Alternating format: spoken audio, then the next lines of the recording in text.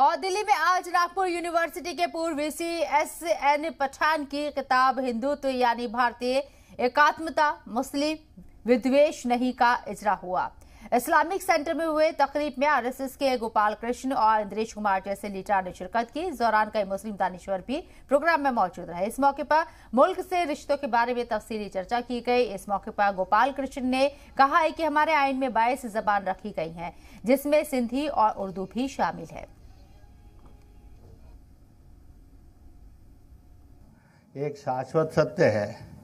भारत भारतीय और भारतीयता ही एकमात्र वो धरती है, समाज और संस्कृति है, जो दुनिया के सब मत पंथों को स्वीकार भी करती है, सम्मान भी देती है और एकोमोडेट करके साथ भी लेकर चलती है। अगर आप इसके अतिरिक्त कोई और नाम लिखेंगे तो बांचने वाला ज़ीरो दे देगा। इससे अधिक नंबर नहीं दे सकता।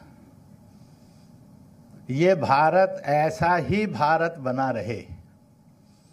इस प्रयत्न का नाम ये पुस्तक है। हिंदू जिसको हम लोग कह देते हैं ट्रेडिशनल वकबलरी में, उस हिंदू का मतलब है जो हज़ारों वर्षों से इस देश में एक परंपरा है, एक थॉट है, एक विचार है, एक दर्शन है।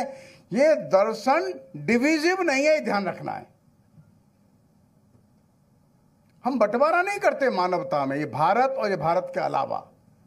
ये बंटवारा कर देगा, ये हिंदुत्व तो नहीं है।